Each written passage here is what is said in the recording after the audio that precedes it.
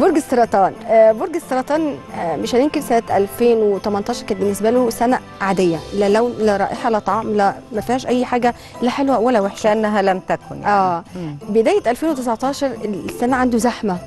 آه، مش هننكر عنده إحباط حاسس إن هو منعزل عن الحياة اللي حواليه حاسس إن عنده عكوسات كتير برج السرطان فهو داخل 2019 مكتئب. آه، 2019 بالنسبة لبرج السرطان آه، سنة الحساسية عندهم. حساسين لأقل حاجة عشان كده أنا بحذركم.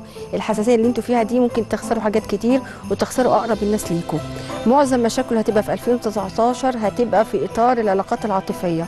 إن هو عايز يستقر عاطفيا برج السرطان ومش هيبقى عارف. بس هتهدى الدنيا عنده في العلاقات العاطفية مع النصف الثاني من 2019 مم.